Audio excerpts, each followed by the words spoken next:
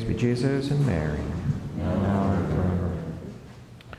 Today's first reading, St. Paul is on his first missionary journey, and he is bearing witness to the people, proclaiming the good news of the Lord, and he's preaching in the synagogue of Antioch in Pisidia, that's modern day Turkey.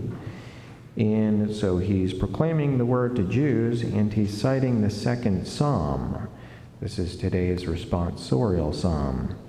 And it has this familiar verse to us uh, You are my son, this day I have begotten you.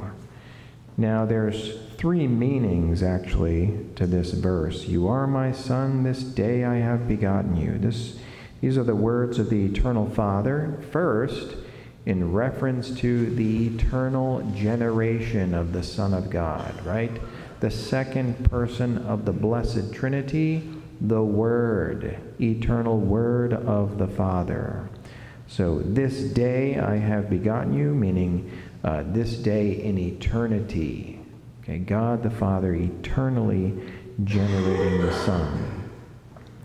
The second meaning of it refers to uh, the temporal generation of the human nature. Okay, and this is when, by the power of the Holy Spirit, uh, the Son was begotten in the womb of the Virgin Mary. So the incarnation, okay, that's the second. And this day, meaning the day of the Annunciation to the Blessed Virgin Mary.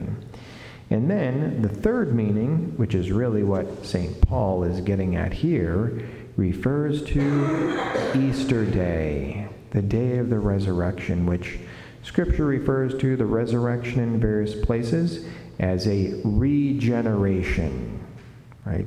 Uh, our Lord uh, is called the um, firstborn of the dead, right? Firstborn, this begetting. And so Easter Day is that third begetting. This day I have begotten you. And again, that is really the point that St. Paul is getting at because he wants to bring these people to faith in the resurrection of Jesus Christ, who is the way, the truth, and the life, and he is the only way to go to the Father. In the name of the Father, and of the Son, and of the Holy Spirit. Amen. Amen.